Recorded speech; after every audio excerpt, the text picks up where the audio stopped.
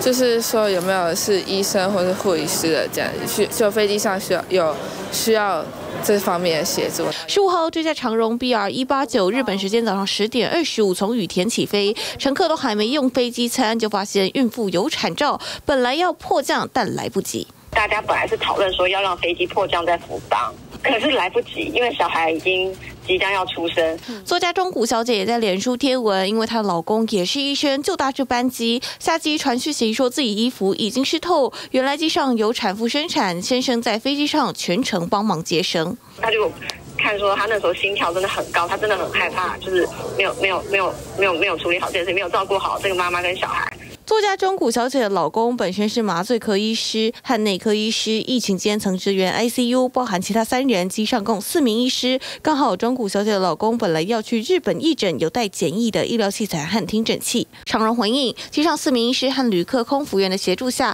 在机上顺产男婴，取得松机的优先降落权。所幸母子均安，落地后立刻送医。其实，在二零一六年，长荣航空有一名印尼籍妇人突然阵痛生产，女婴已经足月，但妇人自称才怀孕六个月。这次事件也传出，孕妇只说有怀孕二十八周以下。不过，长荣孕妇搭机规定，单胞胎三十六周或多胞胎三十二周以上就不能搭机，以及生产后七天都不能搭，二十八周以上也要有医师的适航证明。如果说你搭的是长城的航线，那身体状况有问题，到时候。所以会有这个健康上面的风险呢，也是自己要去负担。妇产科医师施景中也说，机上生产有一定风险，适航证明都是写心安的，也建议孕妇最好不要冒险，以免发生意外。台北新闻是我的曹志仁，台北采访报道。